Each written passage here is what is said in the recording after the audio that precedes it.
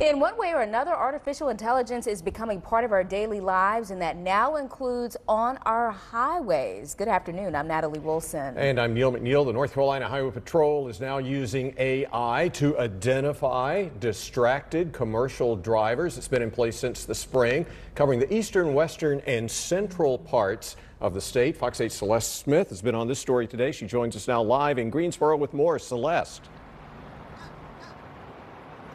So the devices are placed on high traffic roads for commercial vehicles and the, they will take images of the commercial drivers in violation of the hands-free law. The photo will be taken and sent to state troopers and I spoke with truck drivers who say that if this tool keeps people safe, then they're all for it. Being an advocate and being in the truck for over 20 years, I mean, I've seen a lot of bad things when people are distracted. NC Highway Patrol is using three Acusensus heads-up solution devices placed across the state along I-40.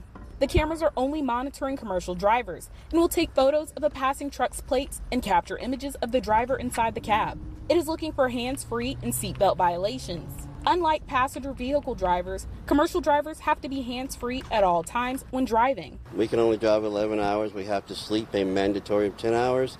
We have to take a mandatory 30-minute break after an eight-hour period, and everything's different for us. The AI devices are mobile and can be relocated. Plus, there's no schedule for where they're placed. I think it'll be an excellent implement in trying to catch distracted driving. As we know, it's all a huge problem now with people on phones and things like that. So I think it'll be a good. I think it'll be a good help for everybody. Some though are on the fence about the devices. Do I think it's needed?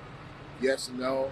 I mean, you got a lot of people that's been out here that's been doing this for a long time, and that's you know kind of we got to use our phones while we're driving. You know, not all the time to be texting and driving, but you know to check for more work. A state trooper sits in a location past a device and will get an alert within seconds when there is a violation, and they can pull up the photo and review it. If there is evidence of a violation, they will stop the truck as it passes. Fines up to $100 could be issued.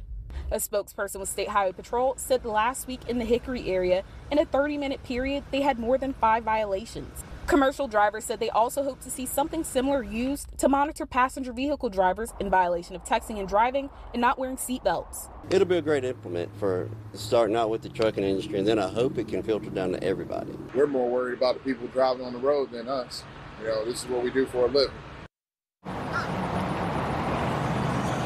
The photos taken by the devices will not be shared with any other agency outside of North Carolina Highway Patrol, and the total cost of the three devices being used is $495,000. Live in Greensboro, Celeste Smith, Fox 8 News.